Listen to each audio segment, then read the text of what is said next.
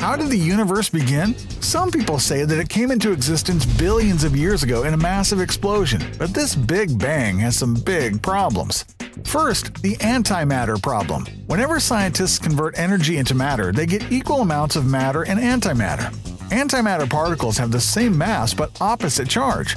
Supposedly, the Big Bang converted energy into equal amounts of matter and antimatter, but the universe shows no sign of this expected antimatter. Second is the horizon problem. The Big Bang model says that the universe started out very small and rapidly expanded. This would leave huge hot and cold spots since even a 13 billion year old universe is still too young for temperatures to level out. But the actual universe shows temperatures remarkably the same in all directions, no hot or cold spots.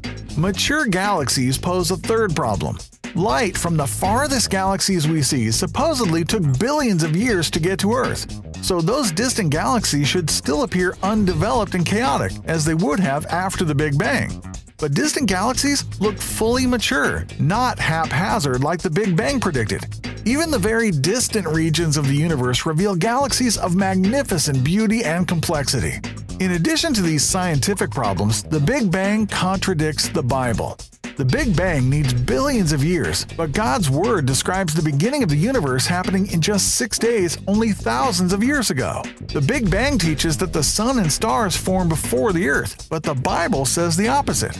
Not by some problem riddled explosion, but by the word of the Lord the heavens were made, and all the host of them by the breath of his mouth.